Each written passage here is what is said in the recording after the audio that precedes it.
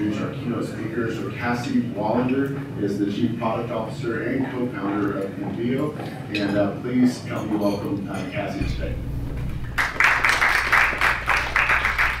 Thank you all. Thank you, Toby. I'm very excited to be here with you guys today. Um, is the mic working? All right, great. So uh, let's jump right in. We're right on time, very impressed. uh, so today I'm going to talk about the design-driven startup. So it's a quick uh, show of hands. Um, how many of you are working at what you would consider a, a large company? How about mid-size? Okay, a lot of mid-sized folks. How about small or even startup? Okay, we've got maybe one. so for those of you who aren't in a startup, um, perhaps this will inspire you that it can be done, design at a startup level, uh, and maybe something to consider for your future career paths and your journey. Um, one more question, how many of you have worked at a startup before? Okay, great. Fantastic. So we have quite a few people who have participated in the craziness that is startup life.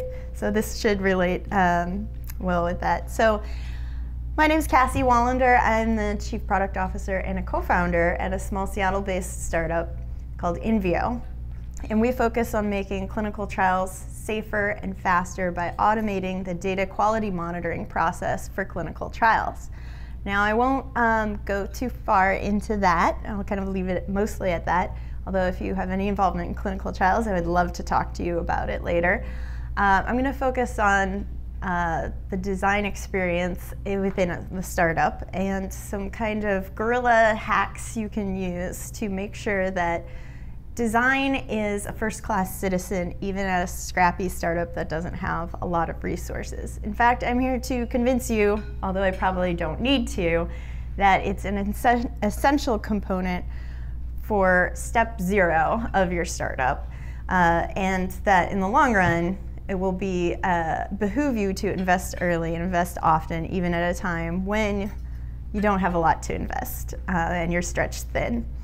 So previous to starting Invio, I was at another life sciences startup. So we have a little bit of a life sciences theme. Um, I was at Appature, which was acquired by IMS Health, and previous to that, I was at iLike, which was a, more of a consumer rather than B2B startup, uh, which ended up acquired by MySpace. Um, but we don't talk about that. Uh, so my theme today is UX as preventative care instead of a band-aid, going with the life sciences uh, scheme.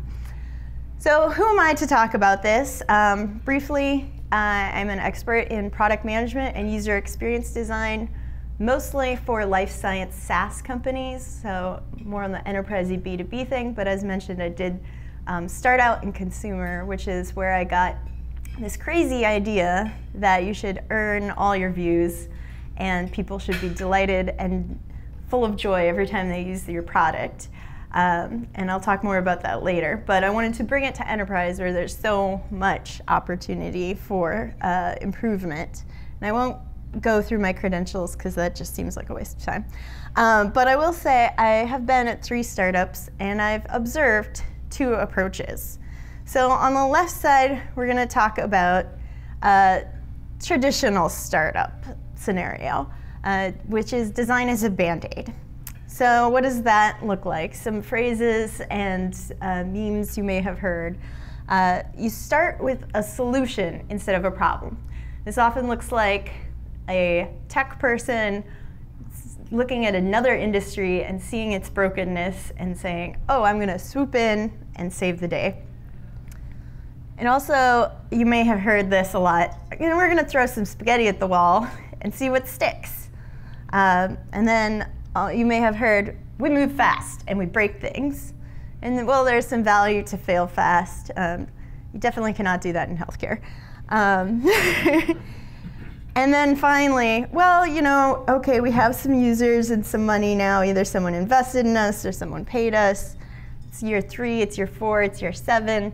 I think we should hire a design person. I don't know what that looks like, but they can help make things pretty.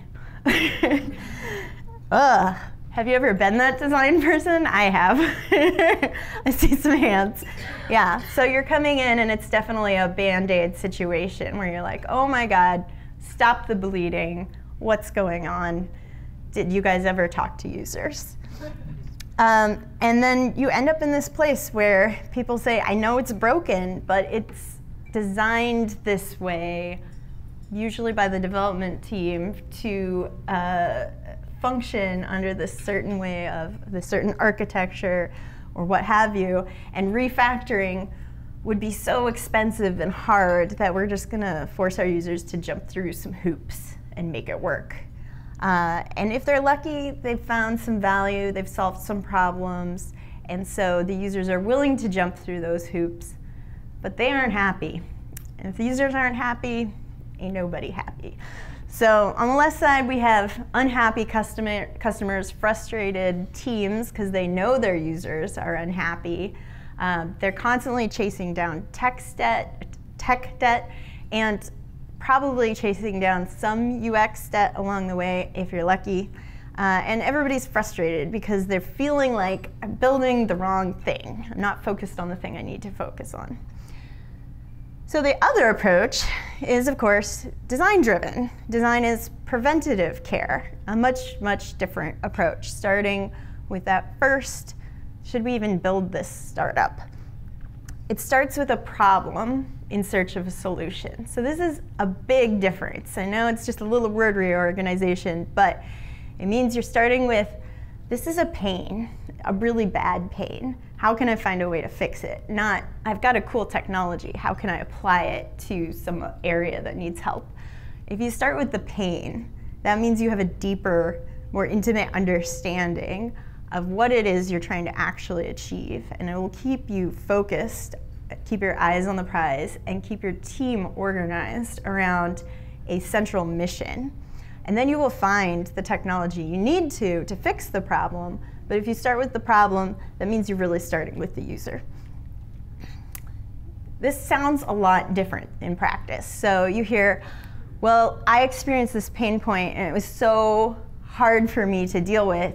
I was so frustrated that I decided to quit my day job and go start this company. Uh, you hear, this is a pain relief pill, not a vitamin. So people aren't doing, using our product to uh, make things slightly nicer, they're doing it because they, they need it. And then people ask, when can I buy this in testing? This indicates people are like, wow, this is solving my problem. It also indicates there's testing. so that's great. Um, and then you'll hear stuff like this. We started with user-centered design methodologies to validate our hypothesis and get functionality right before ever writing a line of code. End result, our customers love us. This is a totally different experience, right? Happy customers, happy team. It takes a lot more investment on the beginning of the company to get it right, or at least get 90% of the way there. But it's ultimately a lot more efficient. You do not want to run a company down the wrong path for three years. So hopefully I've convinced you which of these approaches uh, should be taken. But if you're in this room, I suspect you may have already appreciated the uh, approach on the right. So um, one thing that I've heard a lot coming out of Amazon, um, I'm not coming out of Amazon, but I've heard this coming out of Amazon, is this concept of working backwards. And I feel like it really sums it up, starting with the pain. Uh, and Jeff Bezos said, the working process, uh, working backwards is not designed to be easy. It's designed to save huge amounts of work on the back end and make sure we're building the right thing. So it is hard on the front end, but worth it.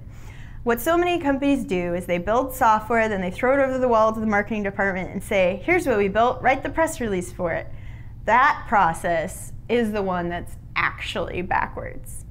And while I have some problems with some of the Amazon UI, I really, really believe in this idea where at Amazon, they actually figure out who's the customer they're trying to build whatever thing they're building for and write the press release and the FAQ for that product or feature first and work totally backwards instead of later on marketing trying to fill, fill in the blanks. And I think this is a really uh, interesting application of starting from the customer pain point.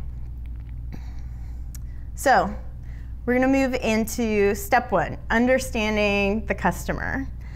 So if you're start, if you're founding a startup, uh, your job is not just UX; it's customer experience. And it, some of us at this table were kind of actually talking about this just before at lunch.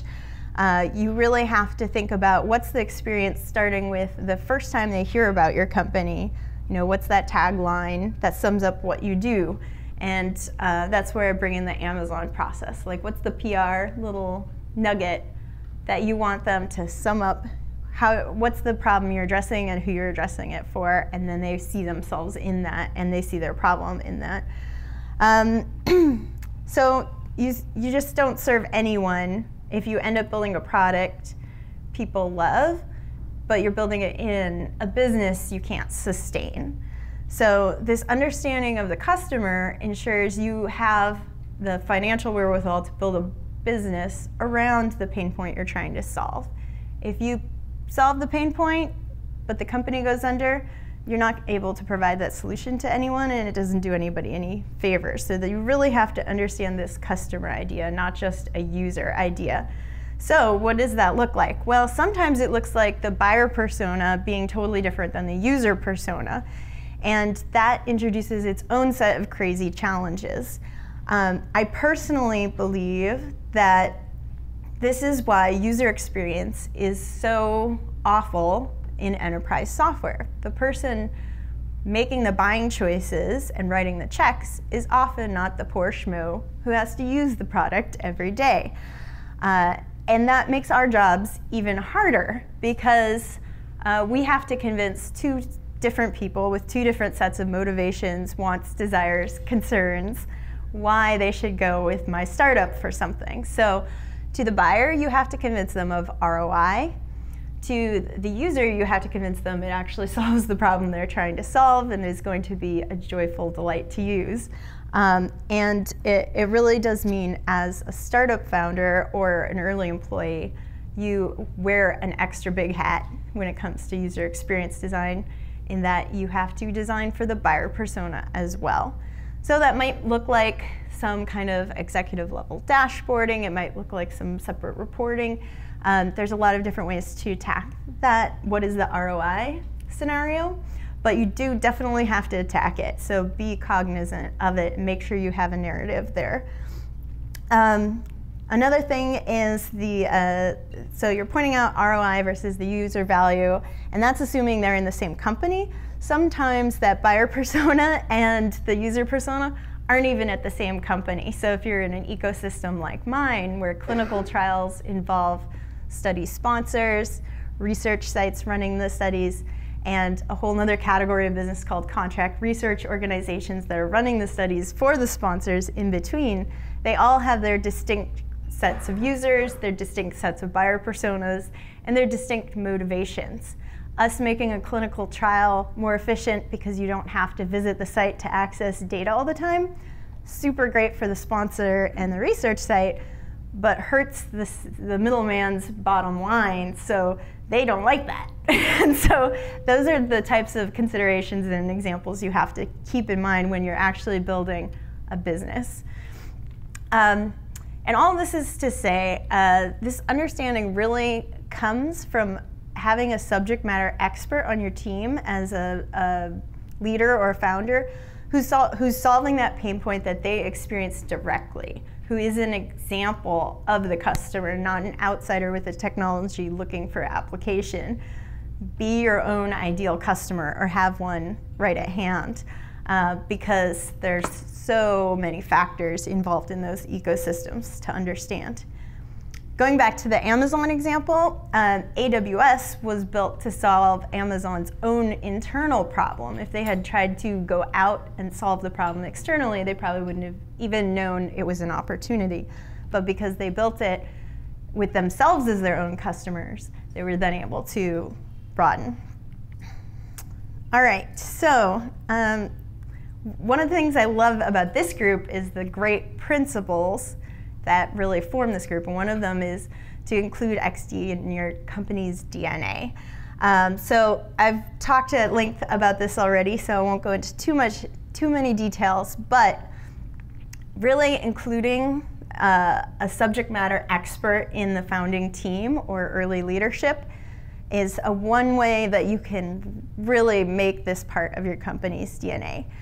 Then also make sure you're including someone with experience and chops in user experience design. So um, can those people be the same person? Yes. Do they have to be? No. But uh, those are ingredients you need in an early team. You know, your early team is going to be small, so if you can combine them, uh, awesome. But it's also good to have them separate um, so you can kind of bounce ideas off each other. So when I say at least one, that's what I mean. Um, and then we also talk about personality types. You know, I really believe in diverse teams of age, gender, sexuality, race, national origin, etc. But personality type is another way you can be diverse in a team.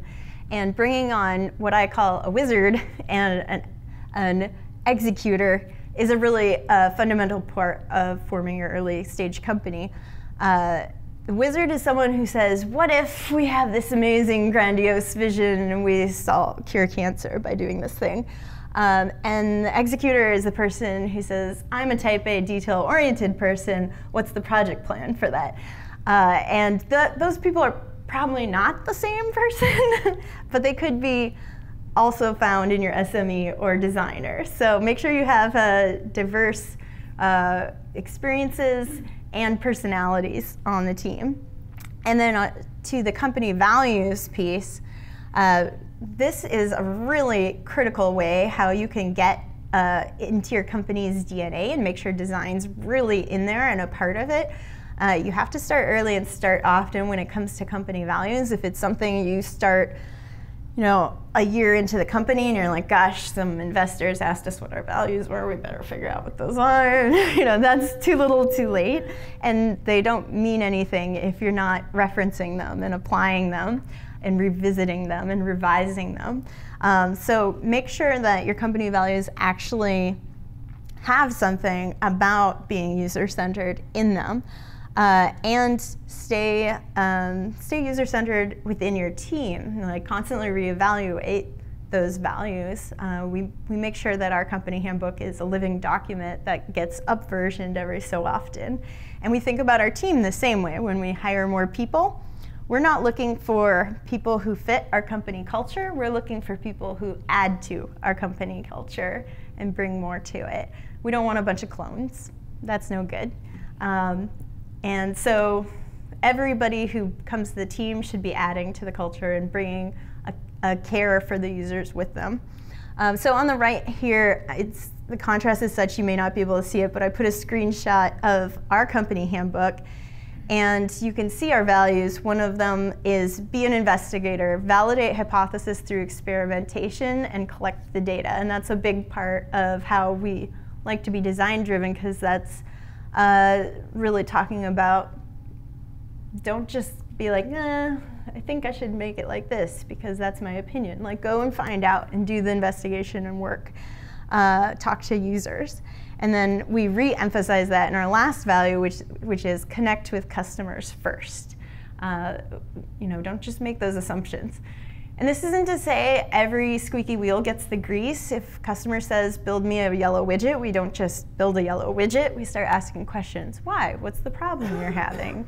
How is this yellow widget solving that problem? And we use methods like the five whys to get down to the root of what are they really asking for because they don't know what's even possible with technology. So it's not import as important for us to understand the solution they're asking for as it is for us to really understand the problem that they're experiencing. Um, and then lastly, I kind of touched on this already, during your hiring and promoting, uh, you know, instead of having culture fits, hire for culture adds. And um, one thing I want to emphasize is company values uh, are not really the ones that are written in the handbook.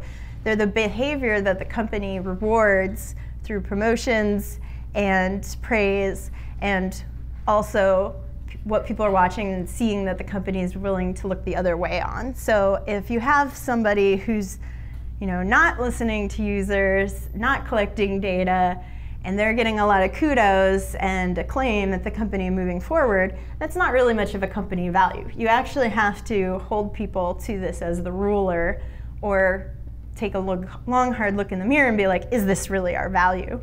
Um, so uh, the first hires set the tone, and if there's disrespect for the users, uh, the user's pain, or the design process early, nip it in the bud. Get that out of your team. All right, so moving on from values, um, let's talk about validating the opportunity. So we validated the customers.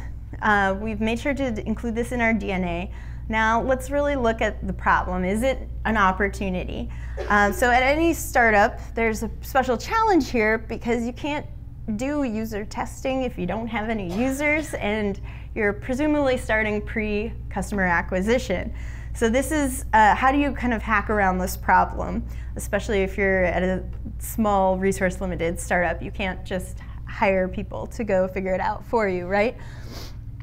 There's, and there's two um, aspects to really understanding what is your problem that I want to emphasize. Um, I'm presuming that it's a real problem, so skipping that. One, is the problem big enough to build a company around? And two, is it a pain you have a special insight to, which is touching on that having an SME in the company aspect. You know, have you had this problem yourself? Do you understand why the problem exists? Do you understand the context and the history of the problem? Do you know the players? Do you understand the ecosystem? Do you know the legal and compliance frameworks that the problem lives inside of? Do you understand the challenges, the motivations that are out of alignment between the players, and how to get them back into alignment, which is a big, big challenge? How much behavior change is required to solve the problem? Are people incentivized to change? A lot of these are not tech questions, they're people questions. And if the opportunity is so great that you could build a company around it, why hasn't it already been fixed? right? Those are questions you have to fundamentally understand before forming a, a company around it. Bonus validation is it venture scale. So if you're interested in raising money, this is a whole nother ball of wax you have to deal with. Uh, for time's sake, I won't go into this, but uh, this is a question you should consider greatly. If that's your plan, don't just, don't just assume it will work out. It has to be a really big opportunity and you have to be able to capture a significant portion of the market share to make an investor even remotely interested. So let's do a little group breakout activity. Um, at each table, I'd like you to take four or five minutes and just discuss amongst yourselves, introduce yourselves if you haven't already, but let's try to make it brief, uh, and talk about how you could really validate this uh, for your pretend startup, hypothetically, uh, before you presume you have zero customers and say, uh, if I can solve this problem, can I build a great, good business? What are the tactics, like the actual things you could use? And we'll talk about some of them when we come back together. All right, you guys have it all figured out, I'm hoping, so I could learn from you. We're gonna take a minute and actually, where did the microphone go? I'd like to hear from maybe one representative from each table about some of the maybe top three tactics. Um, top three tactics you guys talked about to validation that you have a good business opportunity and you're really solving a customer experience problem. Um, who wants to start? Any brave volunteers? You're smiling. This it wasn't my idea actually, but I'll try to articulate it. Um, uh, one of the ideas was to um, look to the SME. Um, hopefully, you have have that SME on your team and um, get an understanding of what the customer pain points are. Um, another idea, what and, and, sort of extrapolate from that mm-hmm. to um, get a sense of what customers, potential customers, might be feeling and how you can solve their problems. Um, another idea was um, to create some surveys to send out to people that you thought might uh, match your customer profile and uh, kind of understand, uh, just get some data to start with to start building that. The idea there that the, the business that I'm building is all around home maintenance and taking care of the appliances and things, and so uh, in your home. So understanding, you know, if there is a market there was relatively easy because so many of my peers have a home, and, and finding, you know, that other people have the same problems Mhm. is a very good way. If you hear, it's kind of the like your slide said, when somebody said, "Oh, can I buy that?" While you're testing. Well, even before you're testing, when you're just talking about the idea, and people are saying, "I need that," or "That happened to me." That's that was a good trigger point for me to say there's there's probably a business in this. And then you, for me, I think the other piece was you, you, you do the the market sizing. So if this is a problem for me and this is a problem for five of my friends, how many people are there like me and my friends? There's 120 million homes, so that's a probably a big enough market to address. Great, awesome. Uh, bat around a bit was the the concept of if we could solve uh, like water water quality problems, whether that's through desalination, uh, contamination in a portable and transportable way, uh, whether it's because of disaster, geopolitical, or whatever. You know, if we had a device or uh, you know some sort of facility that could be taken places around, could could you build something out of that, and how could you monetize that? because things get to be interesting then it's like well you know it's humanitarian. How do you charge for water? Who pays for it? How do you do these things? Uh, and uh, I guess we didn't really come up with a way really to, to crack it. But we know it's a bit it's a problem that needs to be Build a whole company in five minutes. yeah exactly. So but uh, you know the experience of doing that of how you position that in front of you know NGOs or governments or you know things like that would be an interesting way to figure out how that could then especially in war-torn areas and stuff like how do you how do you fix that and make it something that people want to invest in and is, is a sustainable going concern so Yeah, and that brings up a really good point about, you know, I kind of have been hammering you're not just solving a problem, you're building a business that can sustain the solving of the problem. Um, but there are some weird exceptions, some lovely exceptions to that rule where, you know, you, there's grant opportunities, there's organizations, there, you know, money is not going to solve all of the problems, and there's not always a good business correlated to a solving a very good problem. Um, but if you are looking to build a business as the sustainable route, these are some things you need to do. Um, but yeah, it doesn't encapsulate the whole enchilada for sure. So I had wrote, written down some ideas on validating a startup, but this was really just some short list. There's many, many ways. You guys touched on some of them as well. You know, I did a lot of the validation with SM, SMEs that you were talking about, um, and uh, did a lot of going out and finding people who weren't my customer but matched the user profile of my customer, the persona, and worked with them. And then also that learned I need to also find the buyer persona and work with them to find out what's important to them. Um, so making sure to target both groups and really figure it out.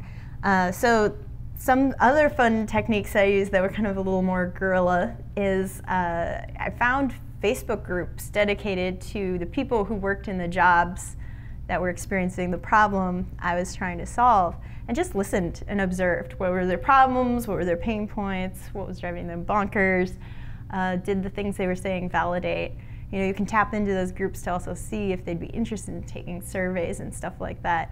I would encourage you to go outside your personal circle because we all know our friends and our mom are going to say, It's beautiful, sweetie, I love it. I'll, I'd pay a million dollars, you know, and that doesn't count. People, even people you don't know, will always tell you what they think you want to hear. So you have to very carefully structure surveys and questionnaires to be as unbiased and unleading as possible so that you don't um, psych yourself out thinking you're onto something when you're not and going down a path that's going to take you back to building the wrong thing. Uh, so try to be as humble and honest through this process as possible, honest with yourself overall. Um, one of the most validating things is if you can get to a place where you may not have no product or no feature, but people are willing to buy it and they're actually signing up to buy it. So you might even have a workflow on a splash page that says sign up now, and they give you your info, and there's a button that says enter your credit card info. Now, I wouldn't collect their credit card info if you don't have a real company or anything, but understanding I have an email address and a name and a person who clicked a button that said, here's my credit, I'm gonna give you my credit card information, and then you get them to a place where they say, oh, sorry, it's going to a waiting list, we're not quite ready yet to send it to you. That, that information is like hard data about people are willing to pay for this. And even a small sample of those is better than a bunch of kind of loosey goosey, yeah, sure, I would buy that in a survey to people you don't know who they are and you don't, if you followed up with them, only 1% might convert kind of thing. And if you take that kind of hard data to an investor, you're going to get a lot better response. So try to get as close to the real deal as possible. In B2B scenarios, that might look like an LOI where you've talked to the buyer persona at a company who's going to be your client and said, if I build this, will you buy it? And will you put it in a, a non contractual letter that says, if you build this, I would like to buy it? Um, that is something you can take to investors too, or to people you're trying to convince to join you on this startup journey. You know, if you have the LOIs in hand, the letters of intent, um, that's a strong data point as well.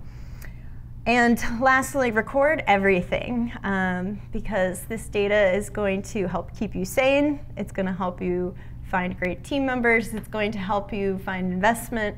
It's going to keep you focused.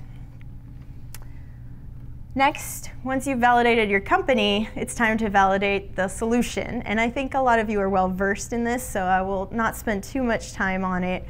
But for us, that really looked like building a prototype, not code, but just a click through prototype of our basic solution, our hypothesis of what the MVP would look like, and then uh, just getting it in front of people who match those personas and listening, listening, listening, listening, staying extremely humble and walking into every conversation assuming this is not our product, this is our hypothesis, it is wrong, we don't yet know where it's wrong, but we're here to learn.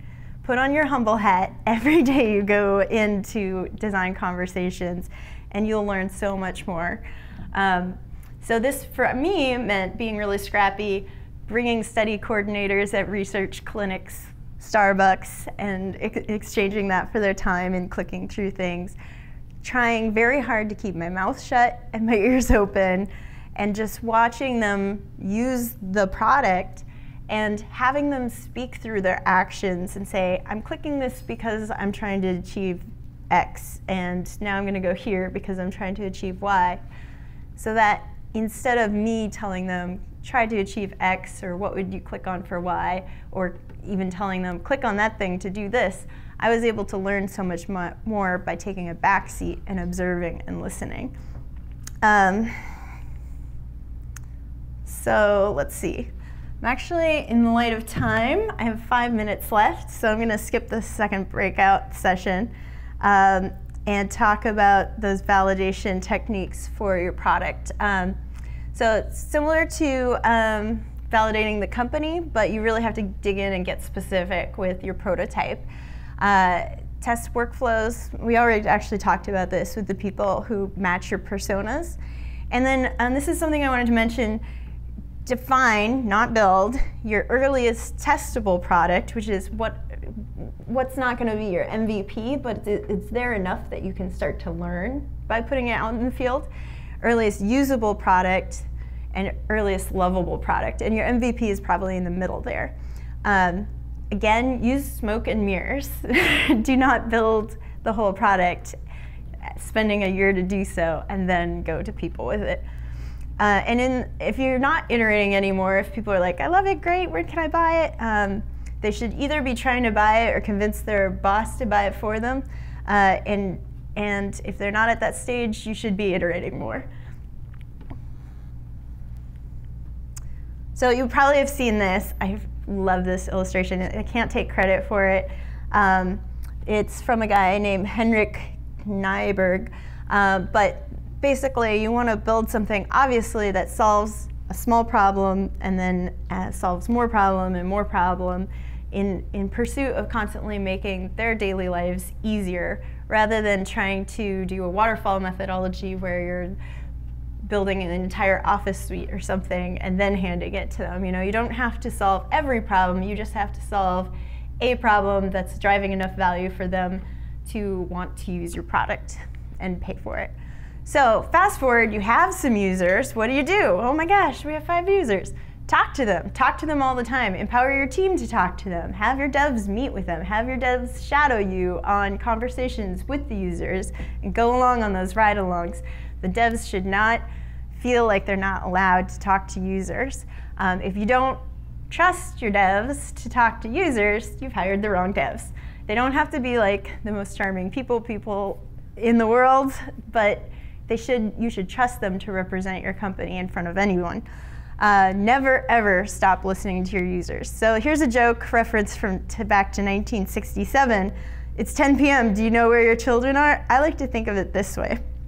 Do you know where your users are? Do you know what they're doing? Do they know you know how they're using your product? Are you paying attention to the analytics, the quantitative and qualitative data? Now that you have some users, everything they're doing in your product and outside of your product and talking about your product is a gold mine that you should be digging through constantly. Um, I'm going to fast forward a bit, but this is a favorite nerdy quote from Dune about fear, and I've fixed it for them. so now it says, uh, where the fear has gone, there will be nothing. Only a delightful product for my users will remain. because I think this is the number one reason people don't talk to their users. They're so scared that they're going to hear from their users, you know, I don't love this one thing. And we just need to swallow our egos and toughen up and talk to our users because it's the only way we're going to get to a place where they're, they're surprised and delighted is by fearlessly and humbly approaching them. And if you're at a startup, in the scrappiest way possible. So there's a lot of different ways you can achieve this. I am happy to send these out. You're probably familiar with most of them. But one thing I want to emphasize is don't just focus on the stuff that the design team, or if you're the only person in the design team, is doing. Focus on what are the uh, what are the analytics coming back from the support team? What are the categories people are reaching out about? What are the questions the sales team is getting? What are these other pieces of information that are channels coming in to the company, giving you data about the customer? And if you're not recording it, you can't improve it. So make sure you're tracking it all and paying attention to those trends over time. And down in the very, very, very bottom, you know, I also say including churn exit interviews. Be brave enough to talk to people when they walk away and say, I'm not going to try to convince you to change, but I'd really like to understand why. Could I take 20 minutes of your time and buy you a coffee or talk to you on the phone and I'd just really like to learn. And if you approach it like that, most people will give you the time. So lastly, I want to finish on a quick case study uh, for uh, our Cedars-Sinai Medical Center pilot. We collected information on support tickets during that time, and I don't know if you can tell due to the contrast here, but across the different departments, we categorized every support ticket into different categories, and by the end of the pilot, we were able to realize a pattern that 50% of our support tickets were coming from uh, record management questions and how do I add additional, can support add an additional user to my instance for my clinical trial. So by the end of the pilot, we were able to add a user management tool that empowered the users to do that themselves, to invite people to their clinical trial and to control their permissions for what they could see. You know, could they see redacted information or not? Could they see all the sites in the study or not? That sort of thing. And that it empowered them to do it themselves. And it meant that 25% of our support tickets were immediately gone. So I was able to reroute that dev time doing boring tier one support stuff into let's develop this feature and all those that whole category of tickets just goes away. And the users are a lot happier when they can get it done immediately. Even if our support team was sure i'll do it for you right away in five minutes it was still a piece of gridlock they had to go through to get something done. So support is like a gold mine for what can i build that will both reinvest itself back into the team and make people users a lot happier and then the record management piece we also built out, and I won't go into the details of that, but that knocked out the other 25%. Um, so, in summary, starting with design will lead to a happier, more successful you, and your team will be happier and more successful, and your users will be happier and successful. So, just definitely do it. Um, having the right team from the get-go with subject matter expertise and design chops and the right personalities are an absolute must. You're only going to have a small team. Make sure it's the right people in your startup. And this can also scale up to if you're just getting started with design in a bigger company. Be scrappy, honest, and fearless in your approach to validating both your understanding of your customers um, and that a business can be built around the problem you're focused on, and that your solution will actually meet the needs of those customers. And fake it until you make it. and lastly, and if I could say one thing all day, it would be this never stop listening. Thank you very much for your time. I'm three minutes over, but I think we still have time for a couple Q&A items. Yeah, we do. Um, does anyone have any questions for Cassie? Boop.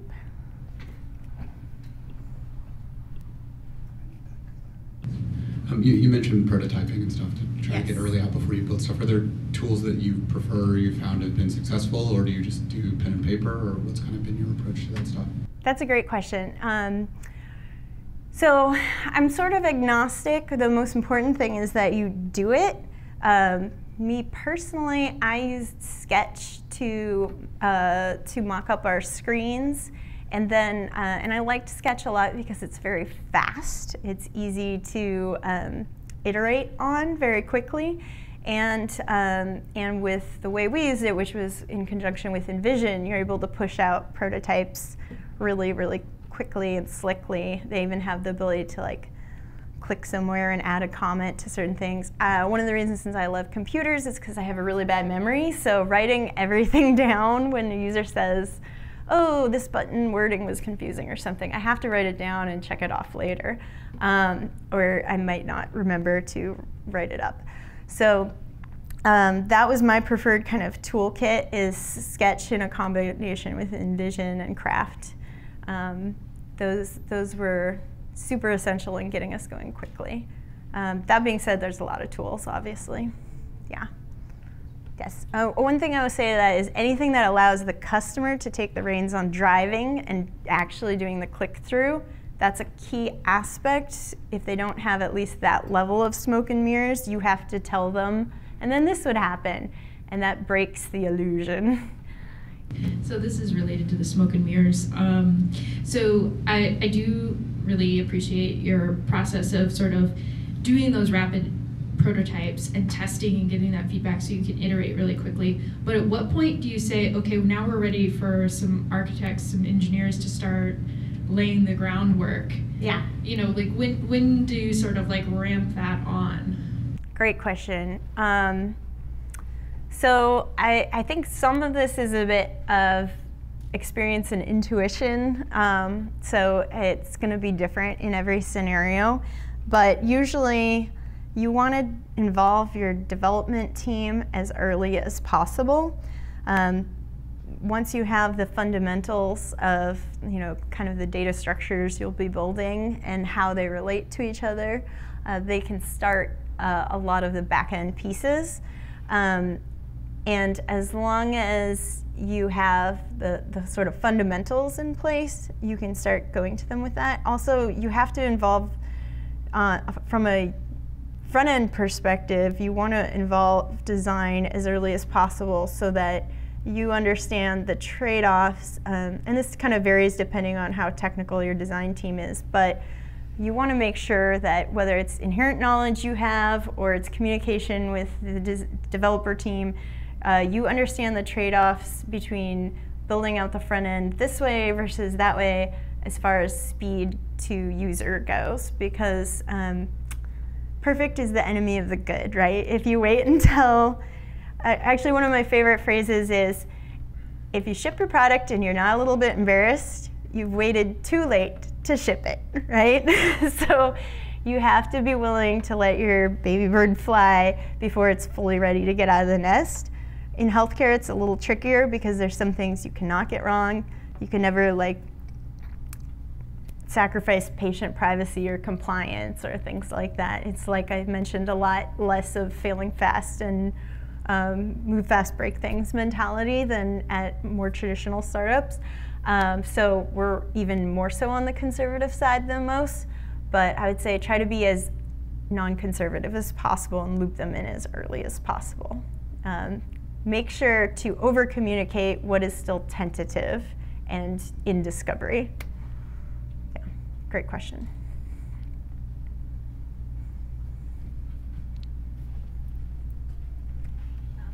So I had a question about validating um, your product and basically a solution that you're offering. Mm-hmm. So say you actually have a solution and then you're user testing it and you're identifying multiple pain points.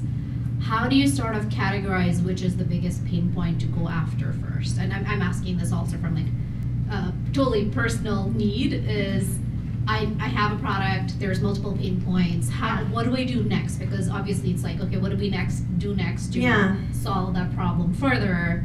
Like you built out that Yeah. like, oh let's have a bicycle and then let's get to a car. So how do you prioritize within what you hear from surveys or people or spying or whatever? Yeah. What do you do next. So I think there's a couple factors there. One, great question, probably the most important question in product management. And the line between design and product management is, in my opinion, very, very fuzzy and should be. Um, for me personally, the tool I've used is um, recording what I'm hearing from users and understanding the frequency at which I get asked for uh, some sort of new feature and understanding uh, for them how they would categorize the pain points uh, is very useful. When it comes to, there's kind of uh, uh, two different categories here. There's issues with the existing product that you want to triage into prioritization. I rate those, I I weight them based on two axes, if you will. Um, one is if, if somebody runs into this problem, whether it's a lack of a functionality or whether it's, you know, the alignment is off in these pixels, you know, um, if somebody runs into this, how bad is it? and there's a severity ranking there. Uh, and if it's like, oh, there's a typo, it's it's a little egg on her face, it's embarrassing, but it's it's meh, you know, um, versus, well, this this functionality that's supposed to work in the product is broken and not working, or it it's, appears to be broken, but it's not really broken, or there's a workaround. You know, there's varying levels of the severity, and that's the y-axis. And then on the on the x-axis, I have likelihood that somebody is going to run into this. So it could be 100% of the time, 100% of the users are going to log into this because it's a problem with the login screen, versus only administrators who go to this one configuration page that's like three levels deep are going to see this, and people hardly ever set up this configuration piece except for at the beginning of the study. So then I plot it on that uh, frequency versus severity. Like, if it happens, how bad is it? How often is it going to happen? And that gives me uh, a weight to prioritize against everything else. And the reason I made this triage matrix is because I wanted my team to know everything was triaged based on reason and not just because Cassie felt this way today. And I wanted them to also be able to push back on me and say, Do you really think that's a seven? I feel like it's a six because there's actually this workaround for it or something. Um, and it gave them a framework to have that discussion and make it less about uh, just how I felt and more of there's a logic behind it. So I would recommend not necessarily copying my system, but having a system in place to be a framework for that conversation. Yeah. All right, well, please help me um, and join me in thanking Cassie so much for today's presentation. Really appreciate you. Cassie. Thank you. It was fun.